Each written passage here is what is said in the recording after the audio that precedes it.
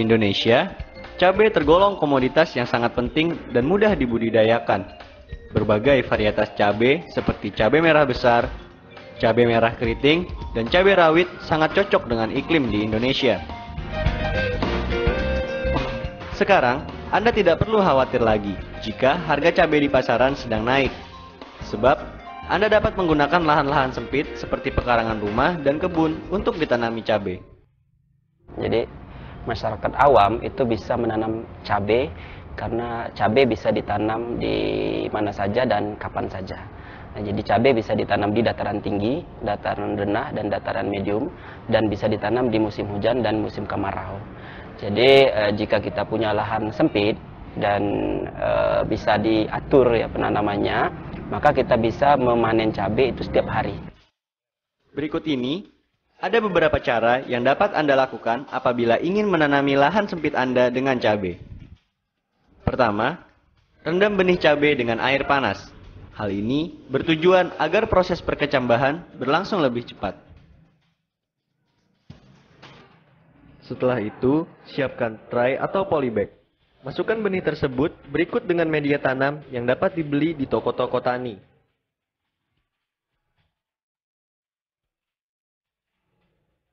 Lalu, masukkan benih ke dalam tray atau polybag. Kemudian, tekan perlahan agar benih masuk ke media tanam.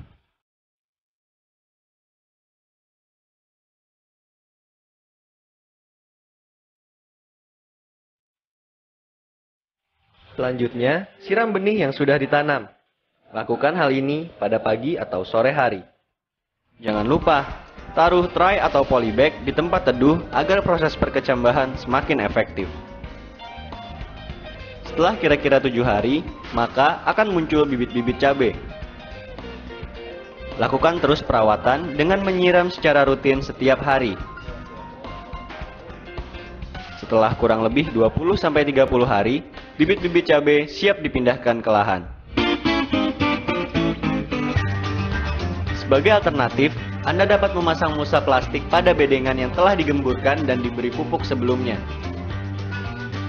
Namun jangan lupa, sesuaikan luas bedengan dengan luas lahan yang Anda miliki.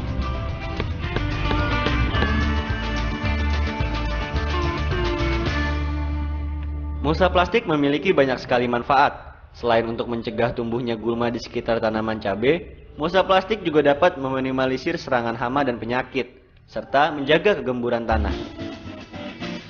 Setelah bedengan dan mulsa siap, pindahkan bibit ke lahan. Atur jarak tanam sekitar 50-60 cm pada setiap tanaman. Ikatkan tanaman ke ajir, dan siram tanaman dengan teratur setiap hari pada pagi atau sore.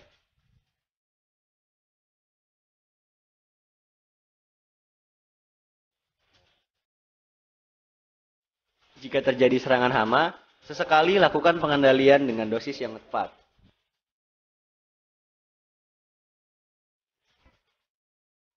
Setelah kurang lebih 75-80 hari, tanaman cabai akan berbuah dan siap panen.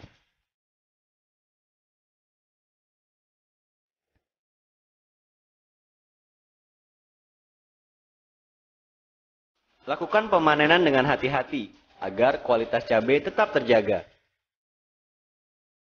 Sebaiknya, lakukan pemanenan di pagi hari dan petik yang tidak terlalu muda namun juga tidak terlalu matang.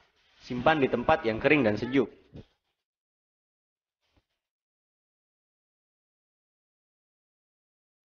Ternyata menanam cabai di lahan sendiri mudah bukan?